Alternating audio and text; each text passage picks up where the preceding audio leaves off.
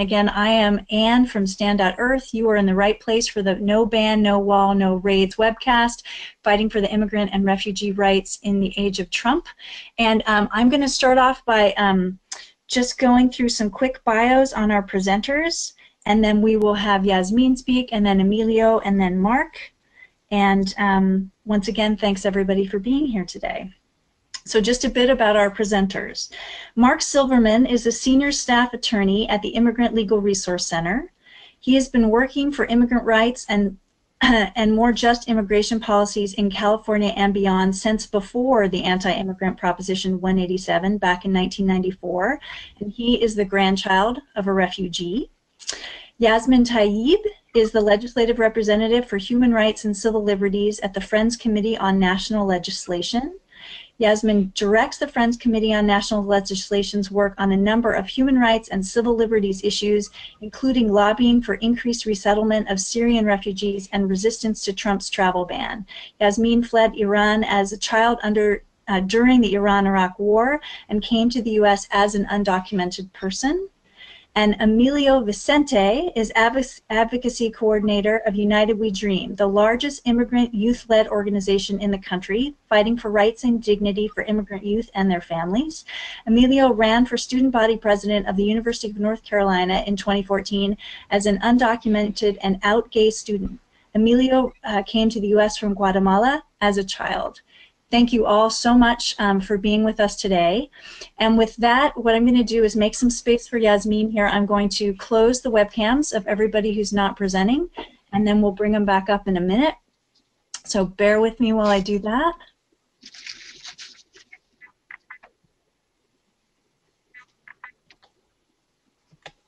Oh, there we go.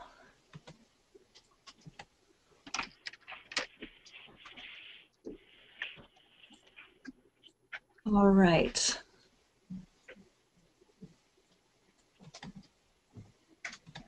All right, Yasmin, take it away.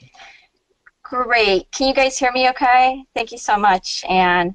Um, and thank you to all of you for joining. Uh, so what I wanted to do is just spend the next uh, just couple minutes giving uh, a quick overview of the two executive orders that came out um, by this administration, um, famously known as, uh, you know, his Muslim ban and Muslim ban 2.0.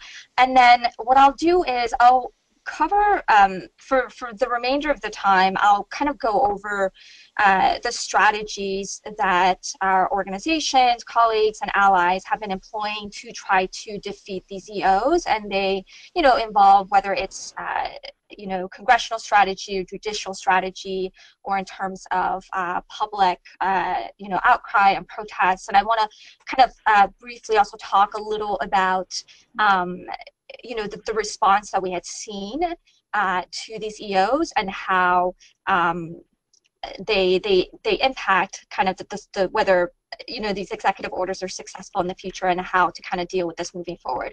But just to give you a, kind of a very kind of brief overview of the EOs, um, so January 27th was uh, the day when the first executive order came out. This was um, you know known as uh, Trump's Muslim and refugee ban. Um, a revised version of that came out on March 6th. Um, so both of these executive orders, what they uh, they ultimately would do is they would suspend the entire U.S. refugee resettlement program for 120 days. They would drastically reduce the amount of refugees that the U.S. is able to take in annually from 110,000 to 50,000, which um, is the lowest uh, number ever in the history of the program.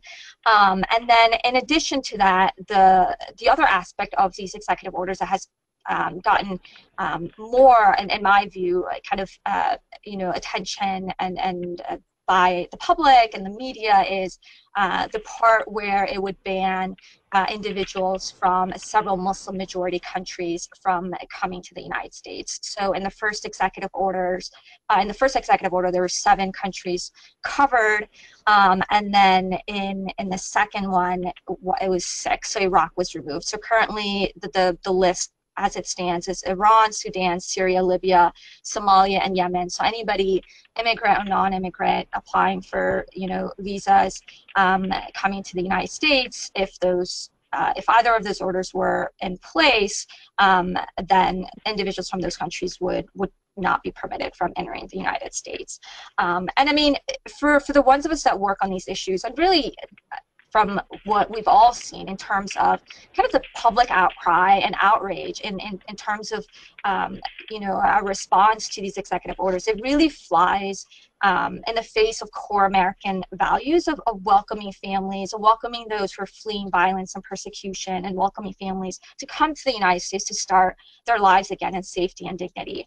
Um, and I mean, we know that this is not who we are as a country. It's profoundly un-American, you know, unconsci- unconscionable, and in fact unconstitutional to uh, target um, entire people um, in terms of discriminating against them and not letting them come to the United States simply because of either their national origin or religious background. Um, so, and then in terms of just kind of uh, differences of these two executive orders, I, I kind of covered that already, but um, so so this administration in attempts to kind of um, getting around the, the, the hurdles and the courts they what they attempted to do in the second one was one um, they clarified that it doesn't apply to legal permanent residents and those who currently hold valid visas. Um, as you recall we had um, a ton of cases where families were either being detained in airports or being banned from even, uh, you know, coming to the United States. And these were folks either with visas or were legal permanent residents. Um, the other aspect, uh, the change in the second executive order is that it no longer indefinitely bans Syrian refugees, and it also uh, no longer has uh, kind of the priorities prioritization language in the executive in the second executive order for um, you know preferential treatment toward religious minorities, um, and that was in the first executive order, and again. Uh, in, in some of the court uh, decisions that came out after the first EO, that was um, cited very prominently in, in kind of uh, supporting the court's argument that this is in fact, you know, a Muslim ban because the administration is also prioritizing uh, religious minorities in coming here. Um, so those were, and then uh, Iraq was obviously taken off the list as well, and this was in terms of uh, advice and suggestions that Trump had received from um, folks in the Pentagon. Um, you know, these are his advisors had essentially told him that if you're serious about defeating ISIS, then you know you shouldn't be alienating the folks that are supposed to work with us, and that's essentially why Iraq was removed. Um, but that, in fact, actually made uh, the case stronger for us in, in trying to push back and saying that, well, this is actually, is in fact a Muslim ban and it is has no rationale based on national security because you're arbitrarily adding and removing countries. Um, and whereas, you know, the first EO came out on January 27th and this administration kept saying, you know, this is an, an, an eminent threat to our national security and we need an, an implementation of this executive order immediately.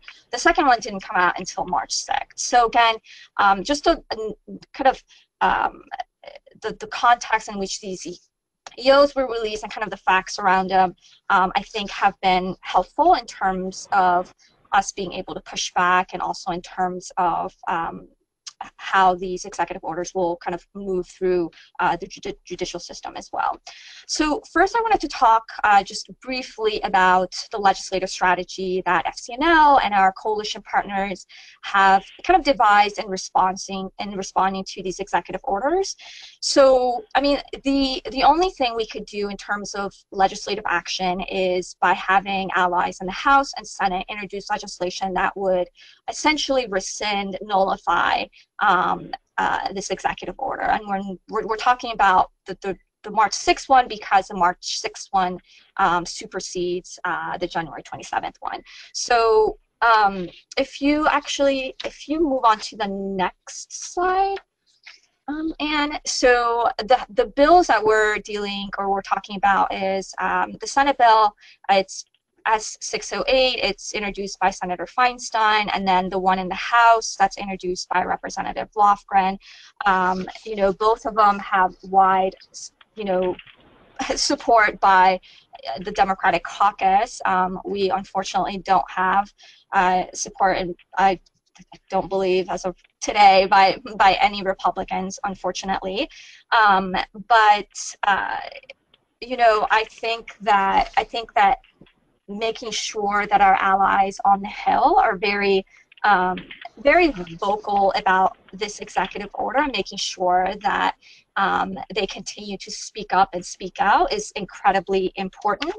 Um, so for the ones of you that uh, don't have the Capitol Switchboard's phone number in your cell phones, I encourage you to put it in your cell phone right now, 202-224-3121. Um, we, you know, encourage our supporters, allies, uh, to, to call Congress every day and let them know that you oppose um, any uh, policy from this administration that would discriminate against Muslims, refugees, or immigrants. And in terms of, uh, you know, this executive order, this refugee and Muslim ban, um, and if you go on to the next slide, actually, and there's, you know, a short script uh, that you can just tailor it. And um, we continue to encourage our network to to contact um, Congress about this, even though um, as of right now, thankfully, um, you know, uh, we've had a number of um, favorable decisions. One uh, on March 15th, the night before this executive order was supposed to go into place. Um, a Hawaii uh, federal judge has issued a TRO, and this is a temporary restraining order, meaning that this uh, executive order is is has is not able to go into effect. Um, and that's where we are right now. As of as of this moment, the uh, Trump administration has not decided whether they want to appeal that case, um, but they have filed for an appeal from um, a case that came out of Maryland, which uh, put a kind of it didn't the, the injunction that came out of the Maryland course court only covered the travel ban and not the refugee ban. Um, and the administration has already indicated that they are going to be appealing that. Um, so that's kind of where we are at, at the moment in terms of um, in terms of legislatively, in terms of um, where we are in the courts.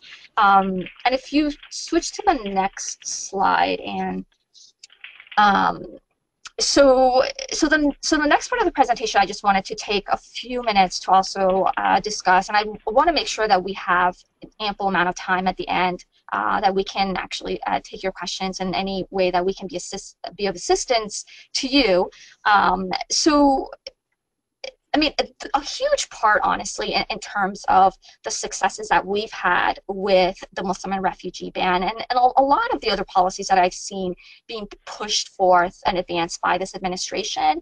The reason why in my view, the American people have been successful is because we've been speaking up. We've been speaking out. We've been out in the streets organizing, mobilizing, protesting, you know, whether it's flooding, um, you know, the phone lines with our representatives, our senators, um, flooding, flooding their congressional offices, organizing town halls in, in, in the district, whether it's organizing rallies or protests. I mean, that is so in incredibly um, critical.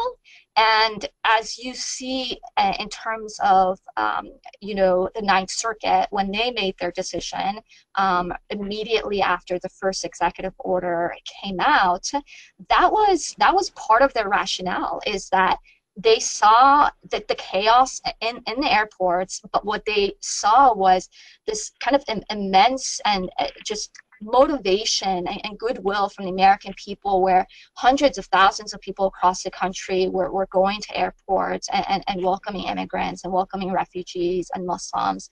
Um, and just seeing this outcry, I think, was so incredibly important. Um, and just to give you quick examples of what FCNL and some of our coalition partners have been doing in response to uh, these executive orders. So immediately, so that week when the first one was issued, and we knew it was going to be coming down, um, you know, during that week, uh, the last week of January, earlier in the week, we actually had a couple of uh, immigration enforcement executive orders come out, and then the Muslim and refugee ban ultimately came out on Friday.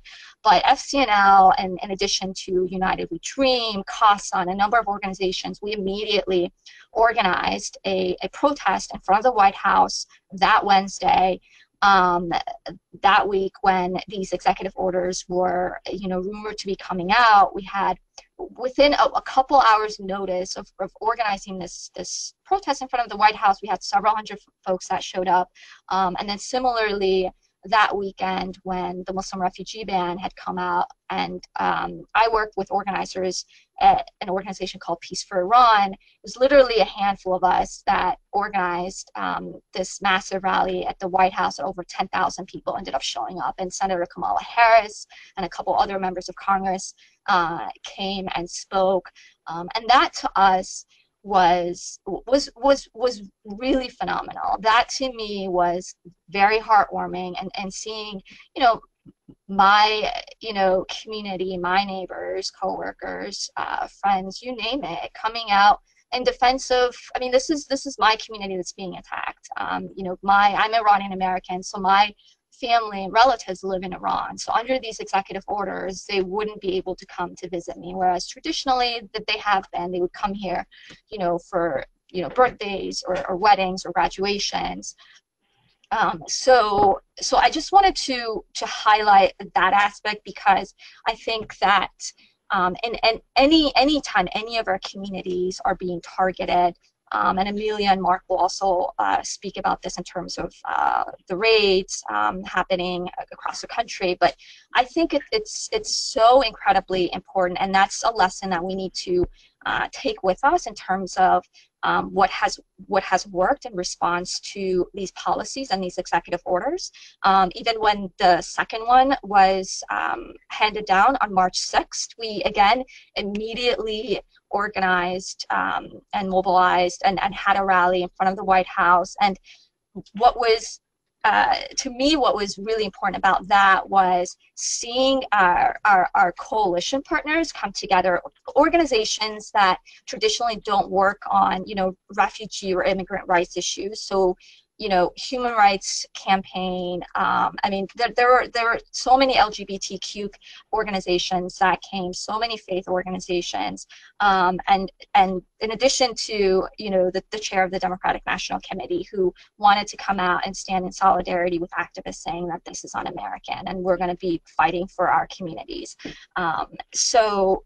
Uh, so yeah, so I just I, I wanted to make sure I, I cover that a little bit because um, you know I I, I want to ensure that moving forward that we you know we keep the momentum going, that we don't become complacent and realize that anytime any of our com- communities are under attack, we we need to be speaking up and speaking out. So.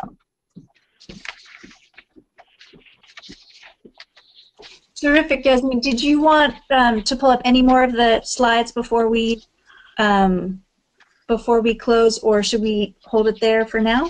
Uh, I mean, so we can go through. I mean, the rest of the slides are just um, pictures of some of the protests, and um, yeah. Let me just get down to those. And some of the impact, yeah. Right, right. Yeah. And I mean, the one um, you know, an angle that we've been taking, obviously, uh, taking in terms of uh, trying to appeal to Republican offices, and I just saw that one slide about um, how this is impacting Iraqi translators. And again, you know, signifying to them that the folks that had helped us um, you know, you are targeting them as well, and they're not being, they're not able to come to the U.S. either. Even though Iraq has been removed from the travel ban, the majority of Iraqis that actually come to the United States come through the U.S. refugee resettlement program. Um, so they are absolutely still targeted. And then in terms of who we're turning away, it's the most vulnerable. Um, I mean, when we're talking about again a refugee ban. Uh, throughout the entire duration of the Syrian civil war, um, the refugees from Syria that have resettled in the U.S., more than 80% have been women and children. I mean, women and children. So um, making sure that we highlight that with, uh, especially offices that are, I would say, not really on our side on this issue in terms of um, the majority of the conservative offices.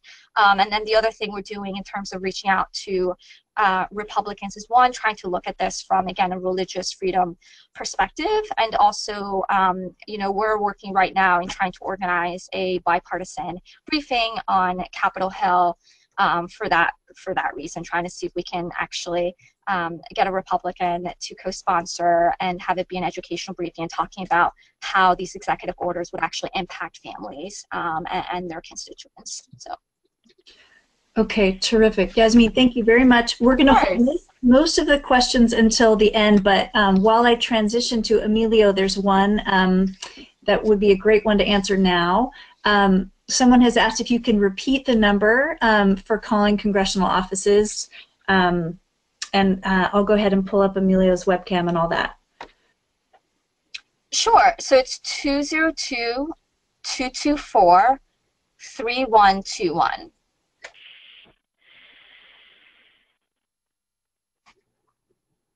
Great. All right. All right, Yasmin, we'll sh uh, shut down your webcam for now and bring Emilio in. Thank you very much. And sit tight.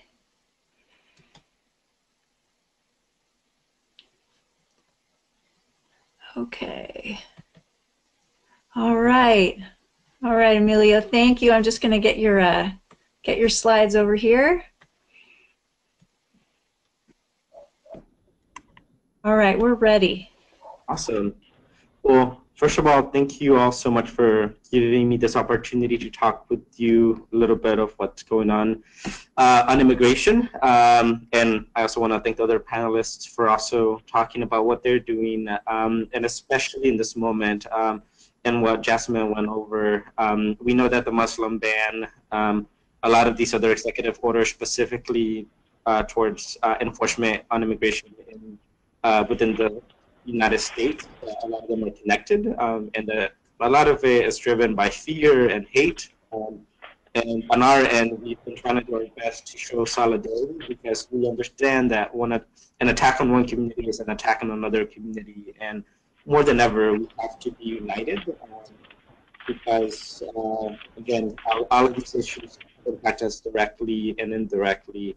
So I want to thank Jasmine for all of the amazing work that uh, she's doing um, and that other folks are, are doing um, to, to raise awareness of uh, the impact of uh, the executive orders uh, targeting Muslim communities. Um, so today I'm going to be speaking about immigration uh, within the U.S. Um, and what's going on there. Um, and to do that, um, I want to talk a little, little bit about some of the strengths or many of the strengths of undocumented youth um, we have been very strong, um, and I think a really good indication of that is um, a few years ago, uh, we were able to get the Obama administration to enact this policy called Deferred Action for Childhood Arrivals, um, DACA, um, as some of you might know know about. Um, it's a program that essentially protects uh, undocumented youth from deportation. Um, they must meet certain qualifications. If they meet these qualifications, apart from uh, being protected from deportation, uh, it also gives them the ability to get a uh, work permit, um, which again is very important for many people. Um, that happened because undocumented youth uh, were tired of being targeted by the Obama administration um, and uh, this is one of the most consequential immigration policies that's happened in a very, very long time. Um, and as we transition into the Trump administration, um, that's obviously obviously changed. Um, and uh, right now, we're looking at more enforcement um, policies, uh, executive orders, um, and so a lot of people are wondering, what can we do to um, to protect our communities?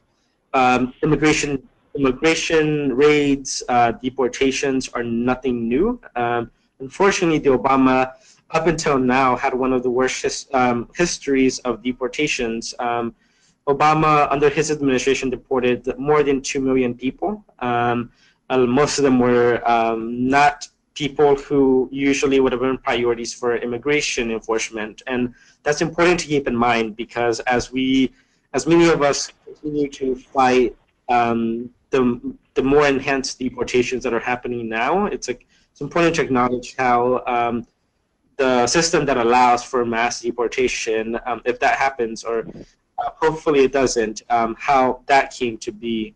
Um, and so I'm going to first talk about sanctuary cities. Um, maybe some of you have heard about this term, sanctuary cities. Um, if you look at, if you're looking at, uh, if you're on your screen, um, you can see a map that I've uh, that I found online um, that basically shows um, different places across the country that, um, in some shape uh, or form, uh, are friendly towards undocumented people, migrant people. Uh, there isn't a set definition for what a sanctuary city place is, um, but essentially um, a city or location can consider themselves sanctuaries um, by uh, uh, not letting local immigration enforcement to uh, cooperate with, uh, uh, to not by not letting local enforcement uh, cooperating with immigration enforcement officials. And um, there are many ways that that usually happens.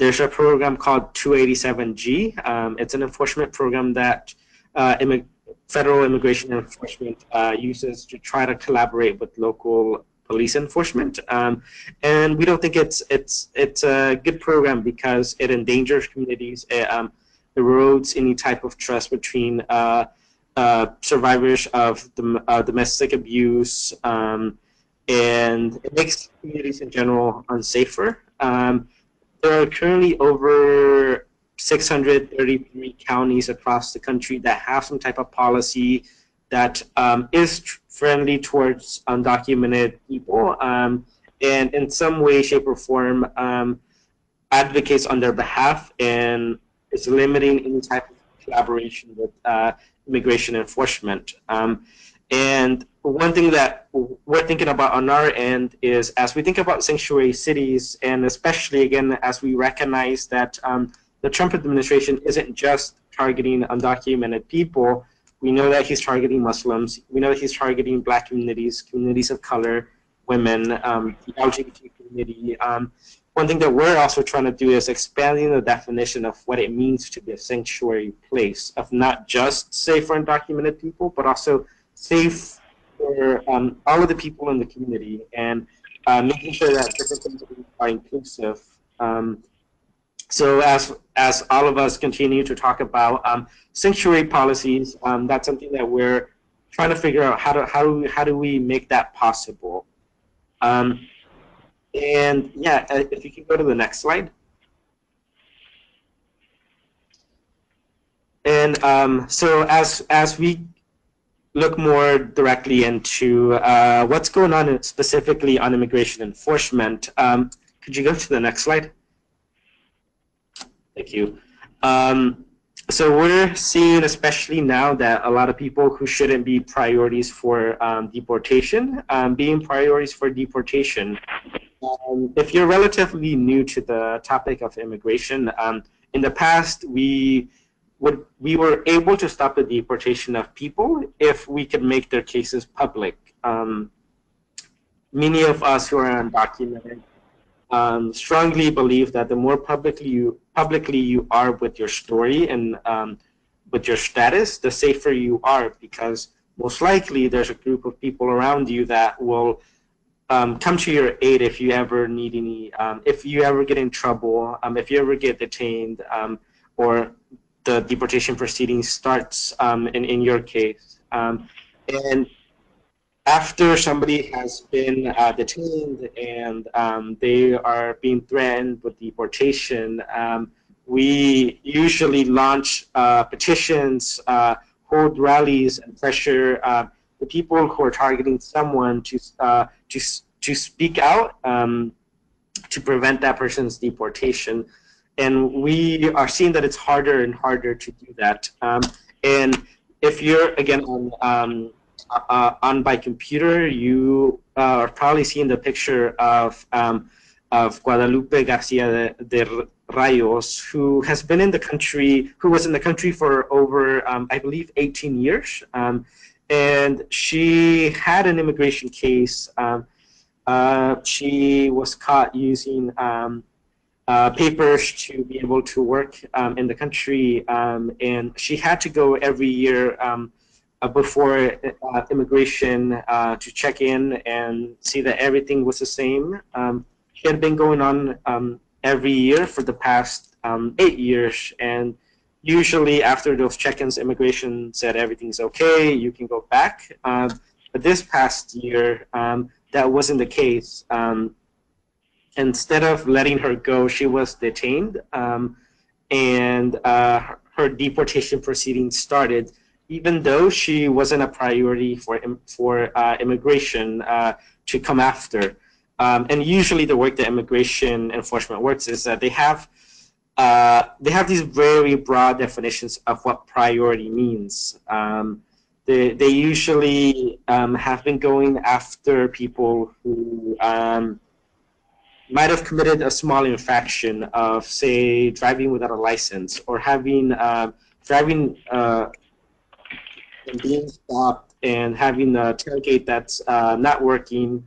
Um, and if if if they go through the immigration proceedings uh, and immigration and uh, immigration can get them before they're out of jail, um, essentially that usually starts a deportation proceedings. Um, and it's been harder and harder to um, get a lot of these people who are not um, who most of us would never consider criminals. Um, and again, the administration overall usually uses the talking point of like we're focusing on criminals. That in itself is a very uh, uh, broad term. Uh, a lot of people use the term criminal, um, and it kind of like paints this picture of like, oh, we're getting rid of the bad guys. Um, usually, that's not what's happening, um, and it also creates this uh, emphasis on good immigrant versus bad immigrant. Um, and so now with this new administration, um, it's been harder and harder to fight a lot of these cases. So on our end, and I think a lot of advocates across the country are trying to um, rethink our strategies on how do we um, uh, protect our communities in this moment of urgency. Um, and um, if you can go to the next slide. Um, and this is also all happening while uh, we've been seeing more um, executive orders um, on the border and uh, enforcement uh, on the interior. Um, so uh, ICE, which is Immigration Customs Enforcement, um, is the agency that usually um, is what we would consider um, federal immigration agents. They're the ones who um, can essentially uh, uh, detain someone. Um, we've seen that through the recent executive orders, um, the definition of who can be detained has broadened exponentially. in, in the last um, memo that the uh, Department of Homeland Security issued, um, we saw that uh, uh, essentially it's going to be easier for them to detain anyone who's undocumented in the country and not having to emphasize if that person um, in their in their mind is a category is a priority for enforcement. Um, and so that's scary for a lot of us because it essentially means that many of our communities are at more risk than ever um, of being detained by immigration and the deportation proceedings starting uh, on that person. Um, we've seen through the executive orders uh, that he really wants to um, the construction of the border wall between the U.S. and Mexico. Um, uh, we've also seen the reintroduction of secure communities. Secure communities is a, a federal program that I uh, that essentially uh, promotes collaboration between uh, local enforcement as well as uh, uh, immigration enforcement, um, as well as another program called 287G, which again is more collaboration between local enforcement and immigration enforcement. Um, and through these executive orders, um, we've seen more attacks on sanctuary communities, cities. Uh, actually, yesterday, the um, Attorney General uh, Jeff Sessions, um, who as a senator was never friendly, immigrant friendly.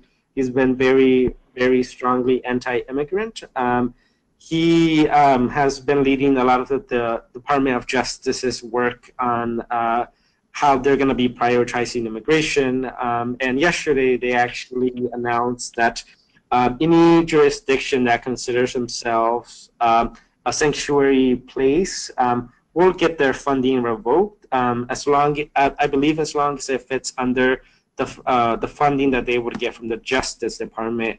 And so you might be wondering why they're trying to do this. It's obviously a tactic to intimidate uh, places, cities uh, from contradicting the government and trying to intimidate them into um, not being friendly towards undocumented immigrants. And so um, this uh, does obviously make it harder for a lot of um, different cities uh, to be more outspoken. Um, but again, a lot of us are continuing to push our local um, cities to be more friend friendly towards undocumented people.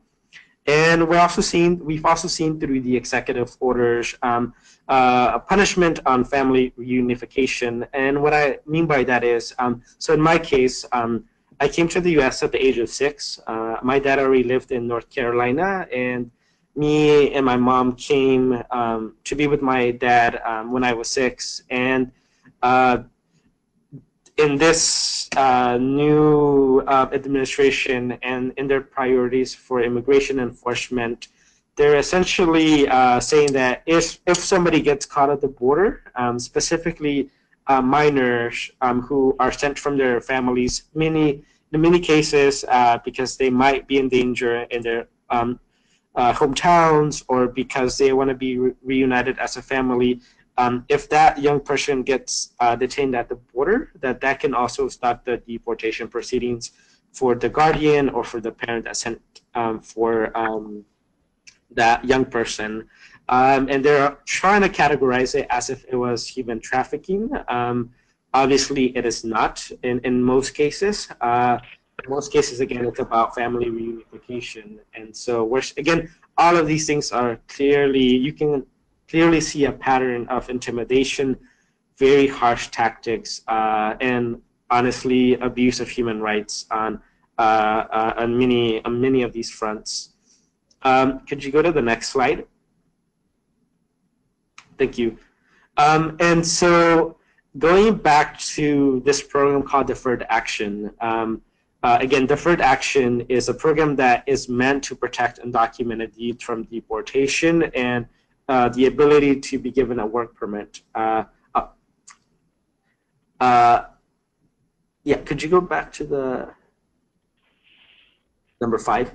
Thank you. Um, I'll quickly do, uh, do both of them. Um, so uh, two quick cases of people that we know, again, the administration, um, so far, Donald Trump so far, his administration has, um, when he was running for president, he said that he was going to rescind this program called deferred, again, uh, the program deferred action. Um, he hasn't done that. Uh, publicly, he's been very uh, cautious. He's been uh, publicly he said that he's sympathetic towards undocumented people, uh, undocumented youth who came to this country at a young age, that uh, he respects us. Um, many of us are skeptical of that, and we're skeptical of that because um, we believe that it's a strategy to try to create a wedge between us and our parents of um, uh, focusing on just those of us who are young um, at the expense of our parents. And we also know that his, he doesn't really mean that. And we know that he doesn't mean that because of the two cases that I'll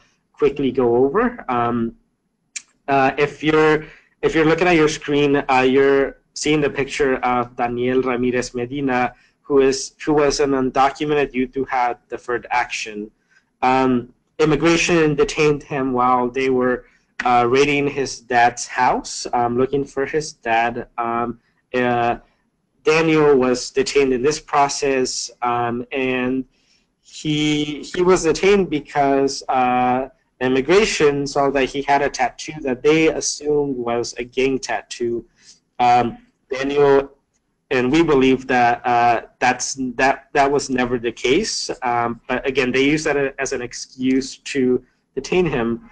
Uh, they also doctored his, his immigration uh, documents when uh, they were when he was being processed, um, and because of all of this, his deferred action, his protection has been revoked. Um, uh, and this has all happened while he has a three-year-old son, and he has act- he actually spent his 24th birthday in detention. Um, his birthday was, I believe, two weeks ago. Um, so imagine being um, 24 year, turning 24 and being um, in a detention uh, in a detention center. Um, uh, so again, um, this is one of those cases of we know that the administration overall um, isn't serious about immigration um, and that they are targeting um, most of the people in our communities.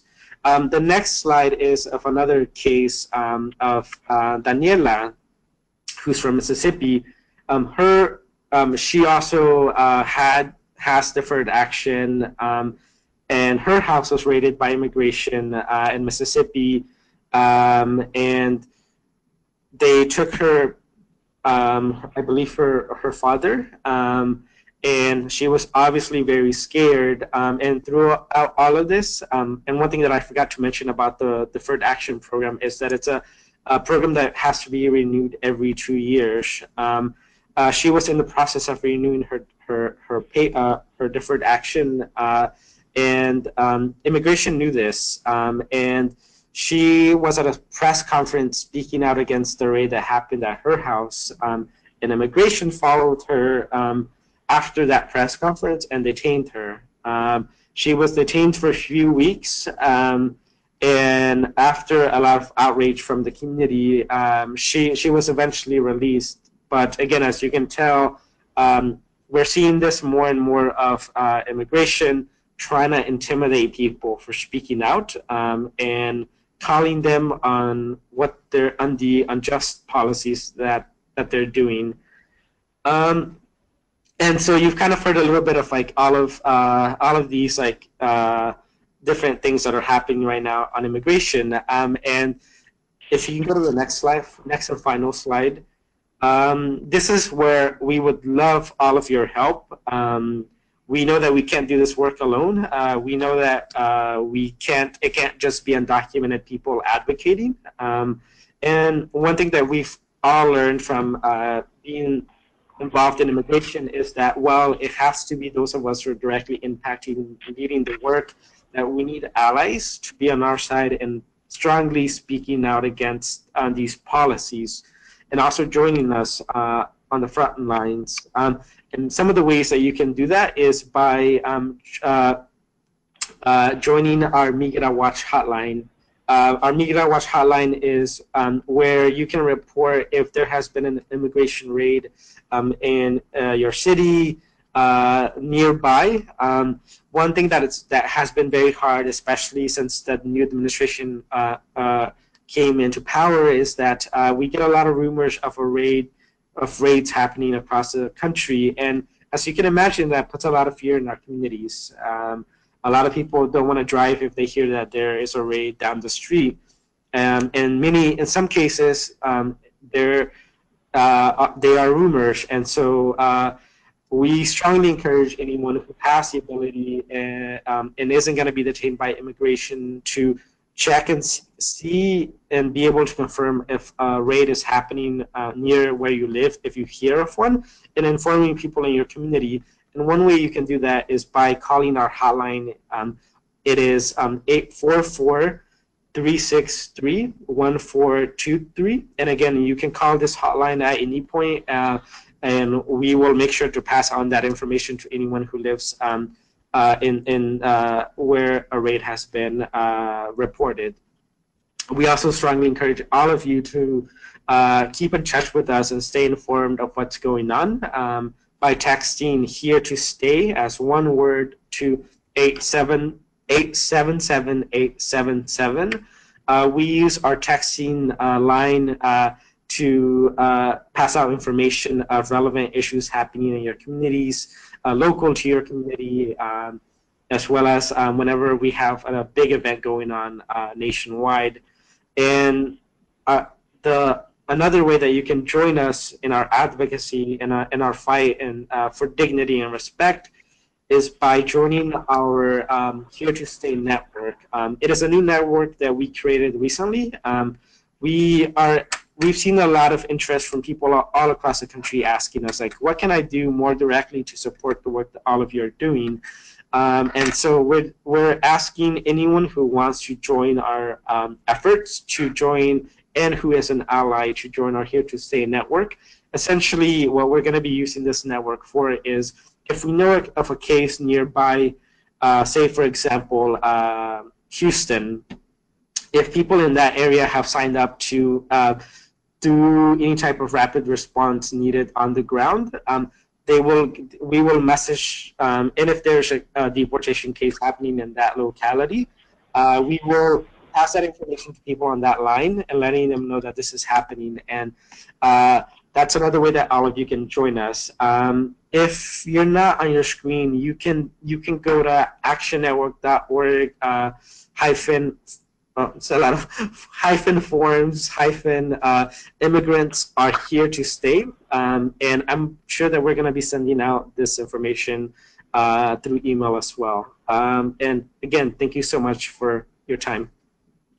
Great, Emilio. Hang hang on there for one moment, and you're right. We'll we'll send um, we'll send this info out to everybody. Um, so if you're if you're not on by computer and can't see these, or just uh, just want to make sure that you catch them right, um, we'll send them out to everybody who RSVP'd. And um, uh, while we transition to bringing Mark up.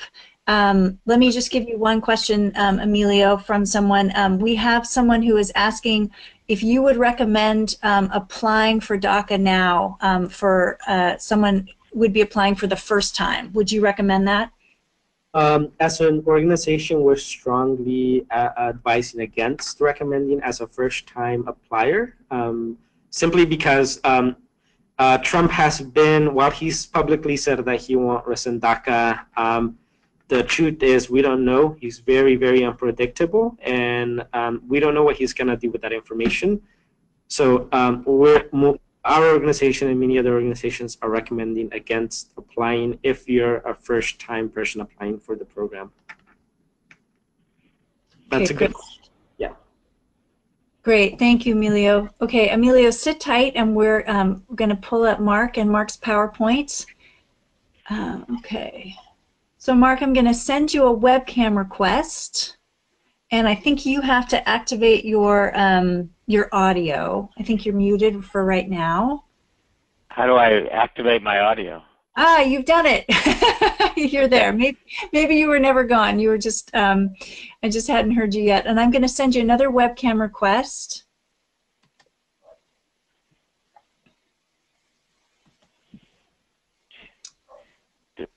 Share my webcam? Can people see me?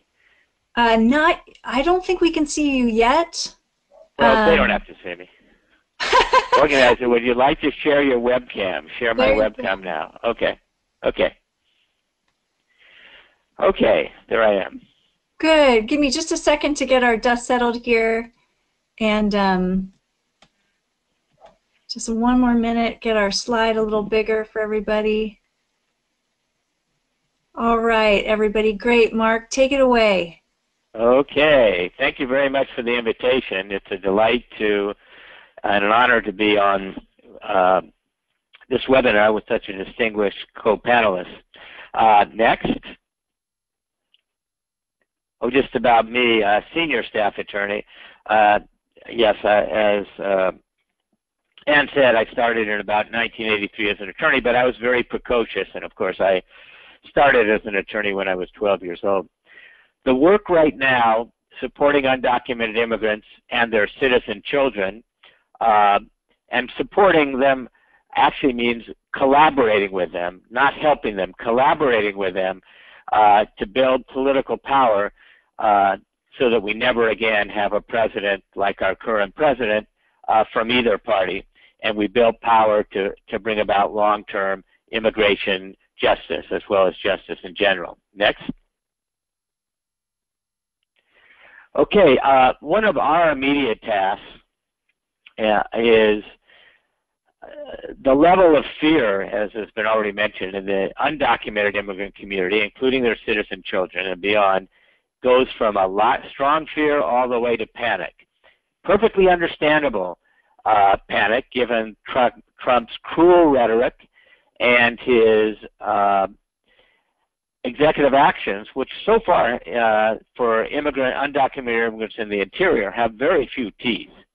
And, uh, and so our message that goes better in Spanish, but uh, forms the acronym TIPS, which immigrant leader who told me to use it uh, said that monolingual Spanish speakers use it all the time, is calm, informed, prepared, and safe, uh, especially if you use a family protection plan. And it's uh, our belief that the immense majority of undocumented immigrants face a very small chance of being detained and a extremely minimal chance of being deported uh, if they follow a plan of prote uh, family protection plan. The two groups that are at high risk are people with crimes, especially serious crimes, and the highest risk are people like Guadalupe and unlike 95% of undocumented immigrants who already have deportation orders. So that's one of our messages now, uh, coupled with working with the organizations that invite us to uh, work with them to increase grassroots involvement. Next. Now, what have we learned from our work before? Uh, in California, uh, one landmark uh, date was uh, 1994, uh, which was Proposition 187, an anti-immigrant proposition by the very unpopular governor, Pete Wilson, who was running for reelection and rode the backs of scapegoating immigrants, especially Latinos and Mexicans, and he won re-election. But then, next,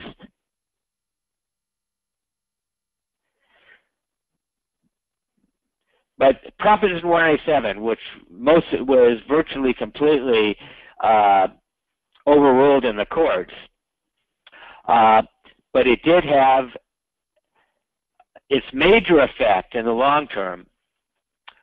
I call Proposition 187 the Pete Wilson Citizenship Promotion Act of 1994. Why? Because it resulted in an immense increase of legal permanent residents, especially Mexicans who had a very low rate of applying for naturalization, especially or citizenship in California, to apply for citizenship. Uh, it also encouraged activism uh, amongst those who were born here. Kevin De Leon, now the president pro, uh, president of the California Senate, got active got active in the campaign against Proposition 187 when he was uh, a boy. I think even before he was a teenager. It really helped to trigger uh, huge political changes in California, not by itself. Next. but was a very important step in that direction. Now this is too small to see, but you, when you, if it's uh, email sent to you, you'll be able to look at it in detail. These are all the uh, California package of pro-immigration integration laws in California. I'm just going to po po point out a few of them. Uh, these all happened after 1994 uh, when political power of Latinos and, and their supporters and immigrants started increasing in California, partially, in, partially as a re reaction to 187.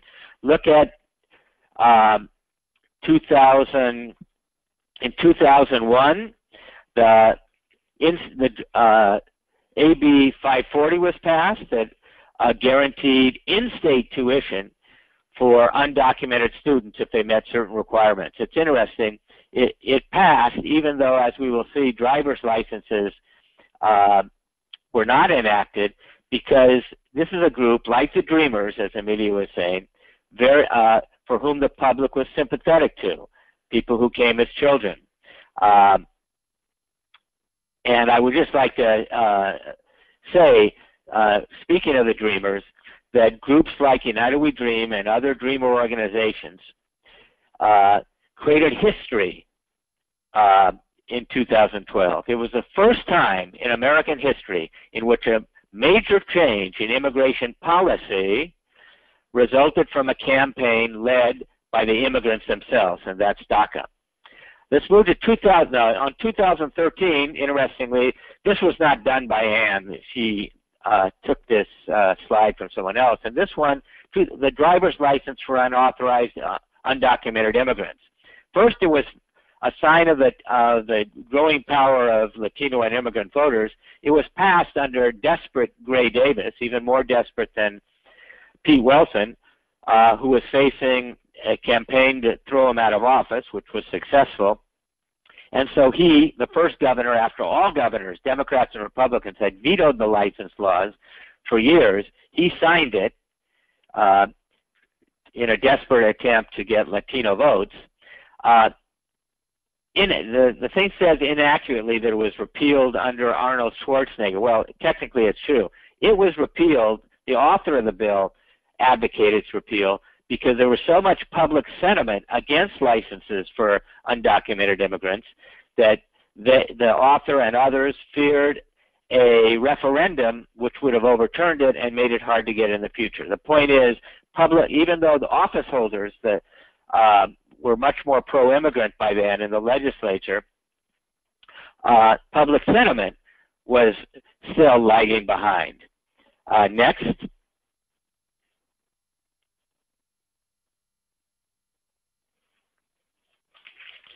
Okay, here's kind of a then and now. It's a little, uh, uh, and it shows the shift from then, 1992 to 1994, uh, Republican governor then. Uh, now we have with the have had Democratic governors, with the freak exception of uh, our the Republicans' great weightlifter Schwarzenegger, who was not anti-immigrant, incidentally.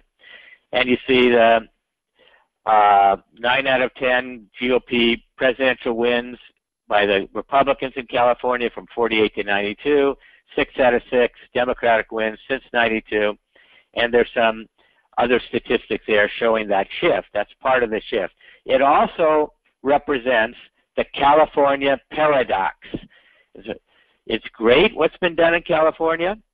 Um, been great work, which I'll talk about some. But the California paradox now, we need to focus on this some, is that California now is irrelevant for presidential elections because everybody knows the Democrats will win.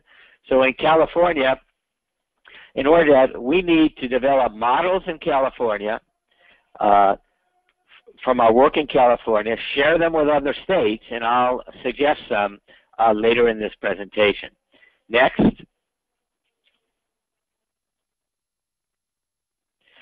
Again, here shows the uh, politics in California since Proposition 187, the great inc uh, in increase in Latino representation in the state legislature. Next. What, uh, what did we have and what did we build in California to make this possible? Next. Well, part of it was uh, uh, Proposition 187, and the work that was done opposing 187, and the work that uh, the political work that happened from two types of organizations: immigrant immigrant-based groups, mainly Latino, but also Asian, uh, and also organizing groups, especially faith-based groups like PICO and IAF. Uh, the ripple effects from this amnesty uh, that the amnesty or the legalization also had a great effect because the people who got uh, legal permanent resident status in 1991 were, became eligible to vote five years later in 96. We're still seeing this in other states, Colorado, uh, New Mexico, uh, and it's uh, and and a number of others, North Carolina. And for example, when Texas political work in Texas is extremely important.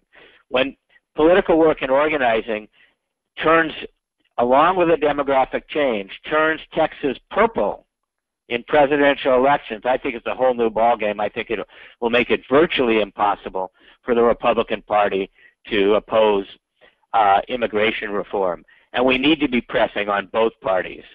Next.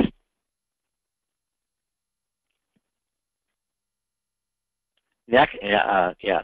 Okay, I'm going to focus on this. There was a lot of legislation, but this was the key one, the one that the immigrants themselves cared about the most by far licenses. Ever since licenses were taken away in 1995, kind of in, in uh, when the legislature, a Democratic legislature, voted against it because they were scared of losing their elections.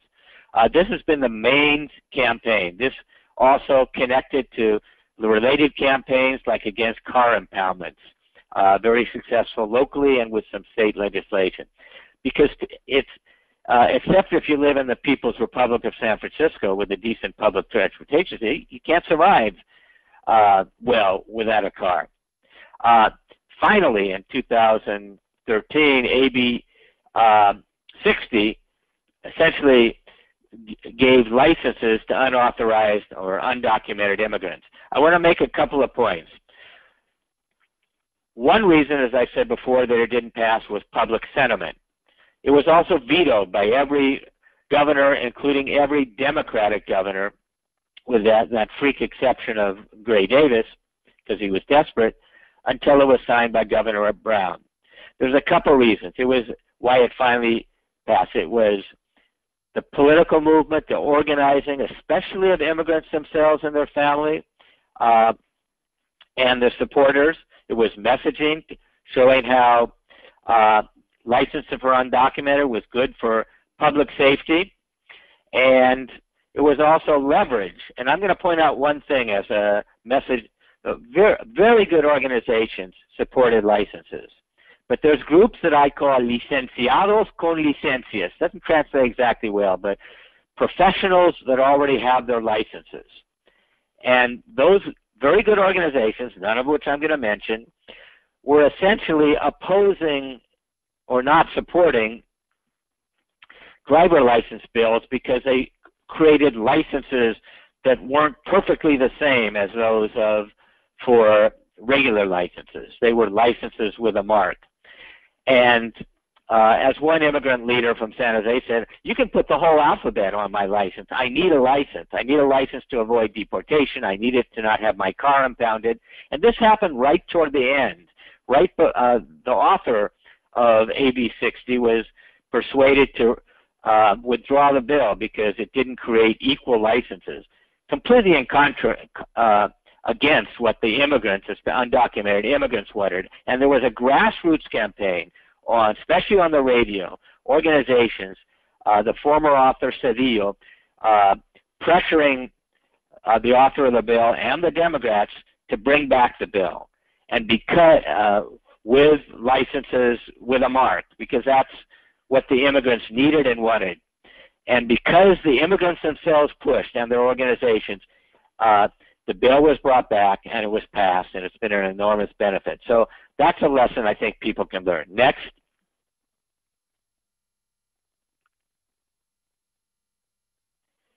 Um, Let's take a quick look at the big marches. Maybe it started in 2006 in reaction to the criminal, the bill that was proposed nationally to criminalize immigrants. It was enormous. I, um, I should be a little jealous because until then, uh, the biggest demonstrations in modern U.S. history were uh, in the anti-war movement that I was a part of, class of 1968, but the biggest numerical demonstrations and total numbers were by the immigrants. These are where the demonstrations were in the country. Next. Um, and here's a lesson that we learned while the slide's coming up. Uh, immigrants, especially Latinos, felt attacked. Uh, and at a certain point, in those massive demonstrations, there were at some point there were uh, large, large numbers of Mexican flags. I understand it. Uh, people were defending themselves against these attacks, but it had a very negative effect because people said, you know, why why are these people? They don't want to become part of our society. You know, uh, it had a short-term negative effect. It, overall, it was a good effect because people got mobilized and organized and started registering to vote, etc.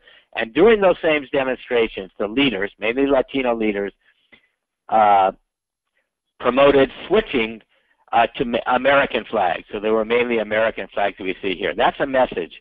Uh, moving away, uh, messaging in such a way to win over the broad public opinion. Next. Hopefully this is the last one. Okay. Finally, I would say I say one there's a, when I was talking about there's models that can be ex, uh, exported to other states and done nationally, and one of the key ones is the role of U.S. citizen children of undocumented immigrants in so many ways. Six to seven million current and future voters. These are, these children have are a bridge between their their immigrant parents and their friends who are white, black, Latino of many generations, etc. Uh, so, and I, we're really, I'm working with a group that are re, uh, in LA and in the Bay Area that are promoting uh, the organizing of these citizen children with their family members. There's a Facebook page you can join. You don't have to be a, uh, child of immigrants to join. Um, and so I would really, this is one of the vehicles that I think is going to be extremely important in building immigrant power um, in our society to bring about justice for immigrants. Thank you. Great, Mark. Thank you very much. Sit tight. I'm going to bring everybody, um, all of our webcams up here. And while I do that, um, let's talk about uh, the first question that I want to ask all of the presenters to talk about is this um, identity question that, that Mark raised and this uh, interesting challenge for, um, for, um, for organizers and, um, and advocates of um, getting the right um, uh, or how you deal with the optics of the, the pride that people have in their heritage while also you know the room to show that they um, are you know wanting to become um, integrated into American society, in some cases American citizens. Let's talk about that a little bit. I'm going to pull up my webcam too. Okay. Everybody seeing here okay for now? Okay, great. And thank you all again for presenting. And um, uh, Emilio and Yasmin, you, um, let's hear you a little bit on this um, on this identity question.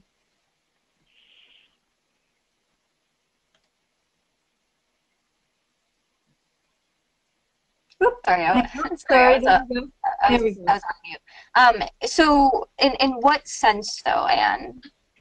Well, I'm just wondering if this if this is an issue that is coming up um, as you are working with people, as you are advocating for people. I mean, it's sort of interesting. In this country, we have all of a, a, a, lot of ethnic pride. We have, Saint, you know, just a bunch of St. Patrick's Day marches, and people are waving Irish flags. Or we have um, other kinds of um, opportunities for people to celebrate both their heritage, where their families may have come from, as well as where they live now.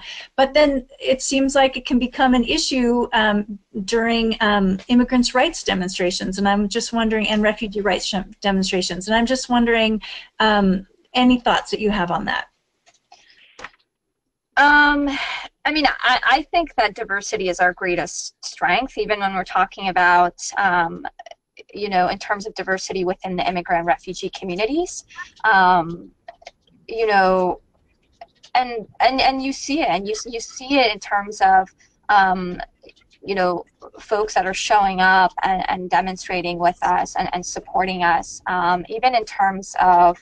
Um, and I, and I mentioned this earlier in, in the sense that, you know, the, the groups that are um, kind of part of our coalitions and are now helping and standing with us to resist some of these policies. And I mentioned, you know, Human Rights Campaign, but when I thought about it, I was like, you know, we, we have we have a ton of immigrants and a ton of refugees that are part of the LGBTQ community. So obviously, they're they're going to be out there um, demonstrating with us and, and, standing with our brothers and sisters. So um, yeah, I mean, I I I've never honestly seen any any sort of issues in terms of um, in terms of the different kind of ethnic or backgrounds of, of various immigrant refugee communities and how that complicates the issue. I just I think that that actually makes our argument stronger in the sense that it shows that we are so incredibly diverse, and this is what uh, this is what America is is is, is made up. So. Yeah, um, I would also agree. I um, I haven't seen that as an issue. I, I think like usually the people that push back are like, oh, but like, so when I've talked to like anti-immigrant people, they've been like, oh, but these people don't want to assimilate or they don't want to learn our culture, and I want I tend to question that, like, what does culture mean? Who's who's the whose culture, and like what culture? I think it's important to keep in mind. Um, is a Eurocentric culture as well because, like you mentioned, like St. Patrick's Day is celebrated, but uh, but I would say I would say that uh, there's a history of uh, antagonizing other cultures that are that make people feel uncomfortable, um, and uh, yeah, I think overall diversity does make us stronger, and um, it does um, it, eh, like I, I'm proud to be from Guatemala, but I'm also proud to have grown up in the United States, and I can I can do both things at once. Uh, I'm usually kind of like like you know it's like it's not like I can it's not an and or uh, yeah. or like yeah so so I think we can do a lot of these things at once too. We've got um, a wide range of questions. A couple, one of them is really specific um, that I wanted to try to fit in here. And somebody is asking if they would be protected from an uh, from a raid if they had filled out um, a particular ICE form, um, ICE form G28. Okay, well, the G28 form is a form of representation before both CIS, uh, the, the benefit part of uh, of DHS as well as before ICE. It's an interesting question. It's signed not by the person, it's signed by the attorney as well as the person. It has certain benefits. Uh, the trick, is, uh, and one organization I know in Southern California would like to get attorneys to sign thousands of them. There's some problems with that from the attorney's point of view the main protection someone would have representation immediately and the attorney could intervene. Another practical thing, I'm let's say I'm I'm justly I'm arrested in Los Angeles, ICE will want to ship me out to the desert in Arizona or some other place, move me away from my family, move me, etc. A G28 isn't surefire guarantee, but it, it's a very strong argument to leave my client here, I'm representing him here. So it's a good thing. Uh, working it out, the practicalities we're, we're working out now as, to do it on a large scale, but it's definitely a good thing. Emilio, did you want to add anything on that one? Um, not, I think Mark just touched on that on that point. I mean, it's like it's more of just like immediate representation. Um, it doesn't really guarantee that you're not gonna be detained and or like the deportation proceedings isn't gonna start, but you'll have a lawyer or some legal representation that can help you out. Okay, great. Um, here's a here's a kind of a big picture question um, for everybody. Is it worth focusing on the federal level when the House and Senate are GOP dominated? I think local efforts um, are key, but um, but penalizing sanctuary cities is really a threat um, at the same time. Yeah, I. Um, I'm going to let someone else talk. so, uh, so, so I can I can answer, but in, in terms of uh, the the work that we're doing on refugee advocacy and the travel ban, um, so so obviously because these uh, executive orders are you know, I mean, they're executive orders. Uh, so the only way we can get them rescinded is through legislative action by uh, Congress. Um, so I mean, that's why we focus obviously at the federal level. Um, but I did want to just note that in terms of making sure that we have folks organizing in their communities, in their district, is um, is, is incredibly important. Um, and I'm sure that Emilio can can talk a little bit about this in terms of the work that he's been doing. But um, but so so I'll just give you a, a, again a quick example. Um, so anytime that we are anticipating um, negative action from this administration, we are um, constantly, and I say we, so so uh, FCNL we um, co-lead and, and started this you know national coalition in, in of refugee resettlement. We started it with MoveOn.org uh, a year and a half ago, and right now it's you know it's it's the largest uh, coalition um, that supports uh, supports refugees, and it's made up of over 120 organizations, that, you know, ranging from labor to immigrant rights groups, um, human rights groups, refugee, you name it. Um, so through this coalition, we try to, you know, also mobilize uh, communities. Uh, the grassroots level across the country. Um, so we have, you know, obviously various organizers and contacts across the country, and anytime we're sensing that you know an executive order is either coming out or you know if, if the, the date that it's going to be implemented is on such and such date we want to make sure that we get folks in, in uh, kind of large uh, communities uh, heading to the airports and protesting. Um, so i only mention that because everything we, we do obviously if it's if it's focused on um, you know federal legislation or, action at the federal level, we always need to have uh, support at the grassroots level and folks organizing across the country.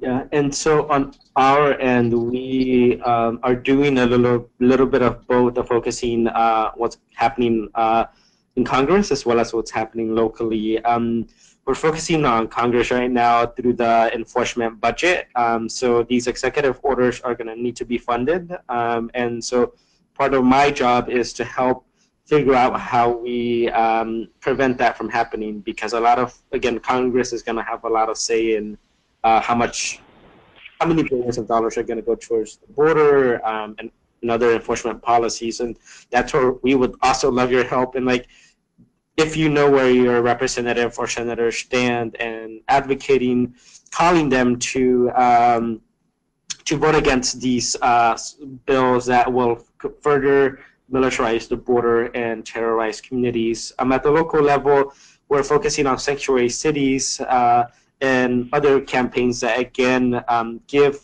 uh, people at the local level power and making sure that their communities are safe. Um, because there's still many things that localities can do to be more welcoming, inclusive to immigrant, and not just immigrant communities, but um, communities in general, uh, locally. Emilio really hit the nail on the head with this one. Uh, and I think it's kind of, Emilio know the details better than me, but I think it's of this thing of opposing the appropriations of money. Uh, Trump's, and I'm speaking mainly of immigrants in the interior, uh, the capacity for ICE to really ramp up deportations uh, depends on getting more money. It's critical uh, to oppose this. Uh, now we have a strong basis with, um, uh, especially in the Senate. It, it's one of the things that's going to make the biggest difference uh, about whether uh, Carrot Top's really going to be able to um, ramp up the deportations like he and his base want.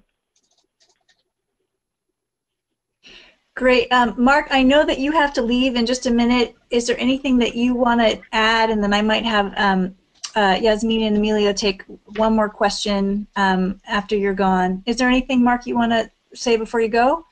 Uh, the only other thing, speaking of uh, President Trump, he's been the best organizer I've seen uh, since Pete Wilson uh, in promoting, especially amongst communities who are not immigrants.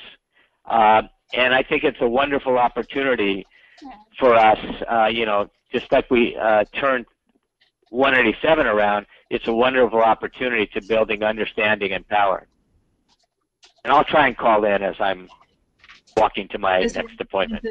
All right, Mark, thank you very much. And, um, and I'll connect with you later. Um, Yasmin and Emilio, sit tight. I'm just going to close down um, Mark's. Um, let's see.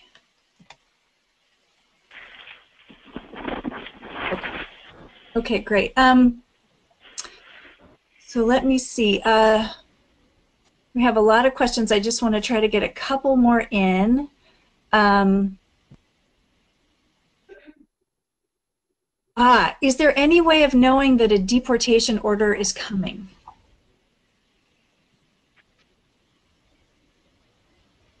Uh,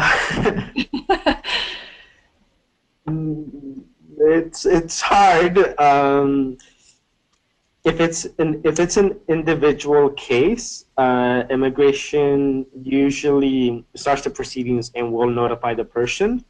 Um, and if you, the person is able to have like some type of legal representation, um, they're usually able to assess and uh, figuring out like um, how the likelihood of like of a deportation order coming. Um, what we're seeing right now is that um, so there's been a lot of raids, and that's kind of like the where a lot of like the community is uncertain and scared, and understandably because raids are unpredictable. Um, there, uh, many times there are strategies used by uh, ICE to terrorize um, and that's where it's kind of harder. But I think on a deportation order, um, it, uh, it's so hard, um, and again, it, it, varies from case to case. There's one post. There's one post. There's someone commented about Terrific.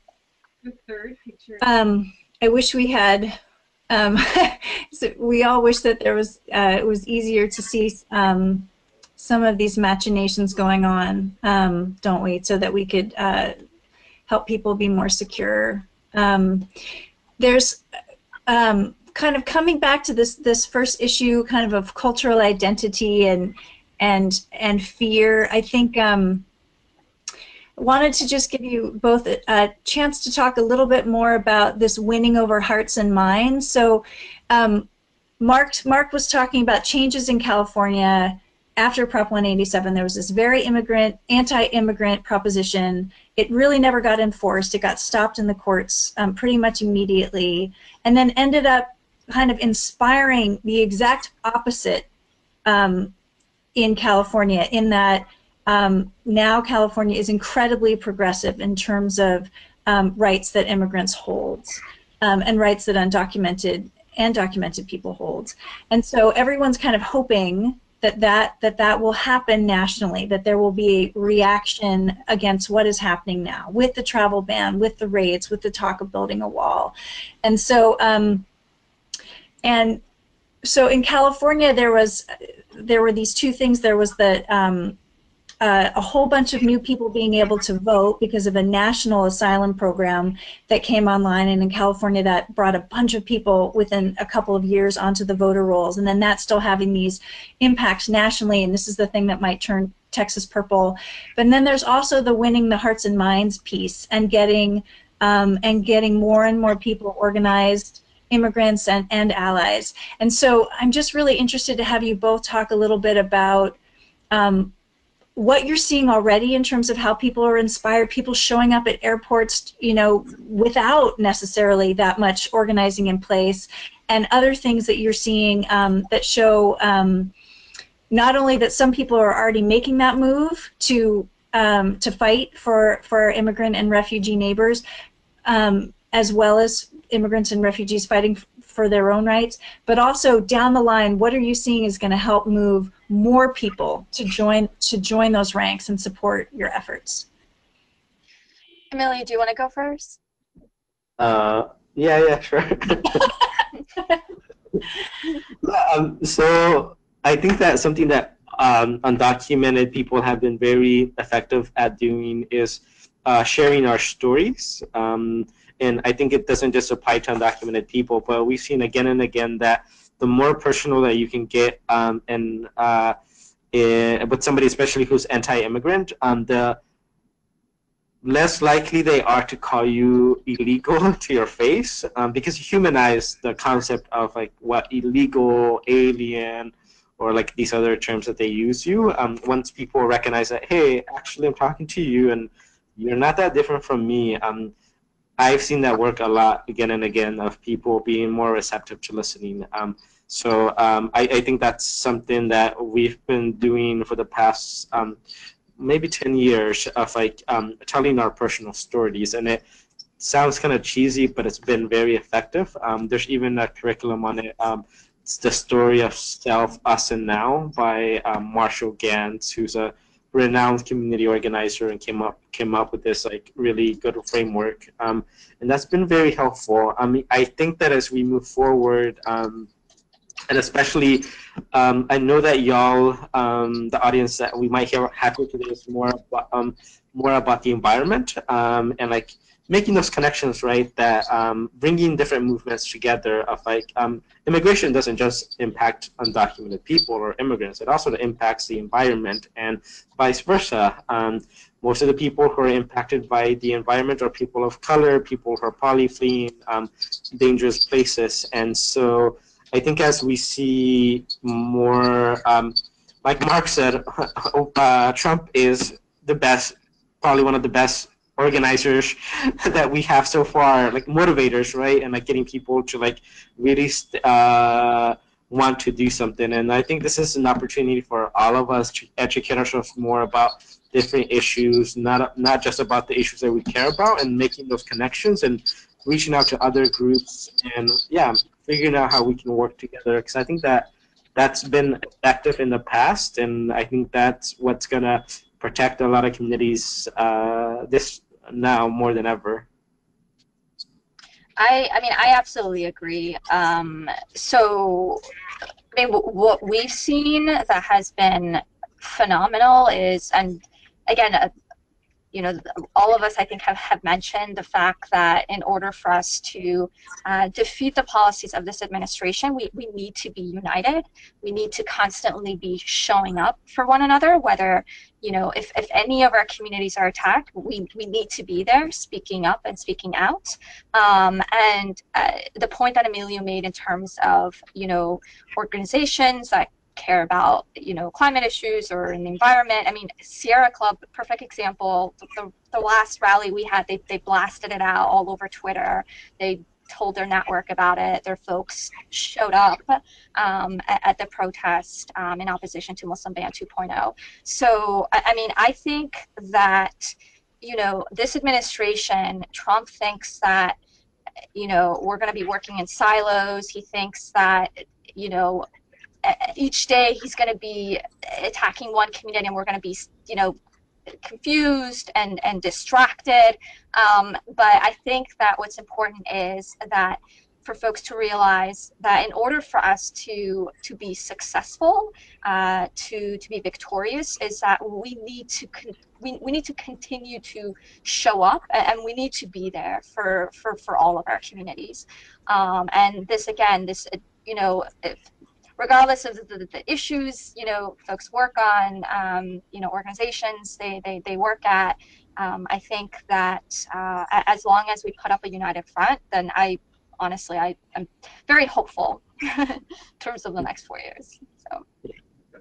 And in California, um, it took, we should note, it took a long time for us to get to where California is now right? There, it, just even looking at that one slide, there are a few pro-immigrant um, pieces of legislation that passed in the years right after, and then a whole bunch in as you get about, you know, uh, about 10 years out, and and really significant ones like um, driver's licenses and uh, like the ABC AB60. And so, um, just wanting to get both of your take. Last question on, as you you know, hopeful and looking ahead um, or Yasmin is feeling hopeful. Um, we'll ask if Emilio is feeling hopeful too.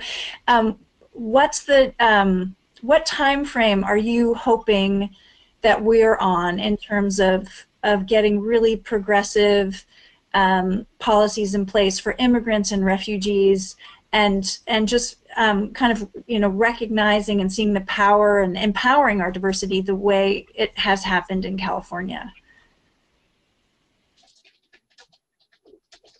That's when you want to go first.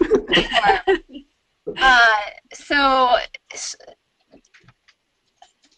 so maybe I'll, I'll, I'll clarify my uh, my level of hope. Uh, so, so I'm hopeful in, in terms of us being able to defeat, you know, disastrous, discriminatory, unconstitutional policies. But I do think that in, in terms of our fight in, in the next uh, few years, uh, it's it's it's going to be very challenging. It's going to be very tough in terms of uh, pushing and advancing progressive policies. I mean, it's you know, in, in terms of at least the issues that I work on, which is uh, primarily refugee advocacy and um, really countering Islamophobia, uh, the fact that you know we have a Republican-controlled Congress, um, you know, executive branch, um, it's it, it, makes it incredibly hard for us to to really advance um, any sort of progressive policies. Um, so I so I'll just I'll just leave it at that. I, I think that um, I think that it is going to be uh, it is going to be challenging with this administration.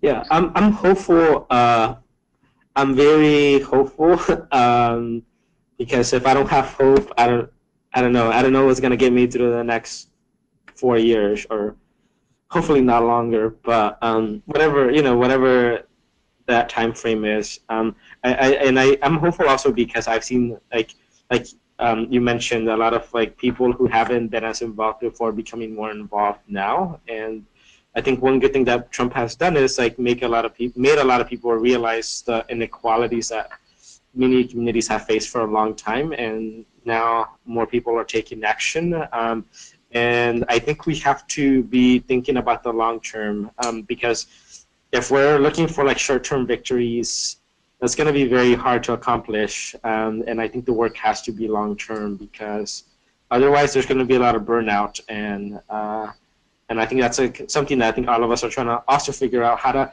how do we remain hopeful in an avalanche of like you know executive actor action after executive action. Um, and figuring out, yeah, how I think at the end of the day, um, we should, you know, have to be accountable to the communities that we're working with.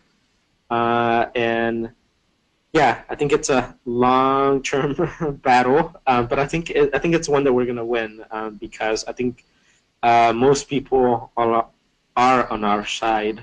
So that's what makes me hopeful. Terrific. Um, uh, before last before I, let you go, somebody asked if Yasmin, could you share the name of the coalition that you're working in? And it might be one that um, that you noted includes United We Dream too. Somebody said that the really big coalition. They wanted to know the name.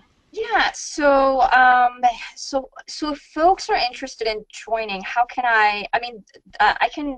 Should I just share the the, the email with you and can you send yeah. it to yeah if you send that to me and then I'll I'll send it out with the link to the recording and okay. and all that. That's a great idea. And yeah I'll touch base with all with all the presenters and um, all right great. Well um, hold on just one more minute um, Emilio and Yasmin and I just want to follow up and thank you um, after we let the others go. And to the audience thank you so much for joining us today.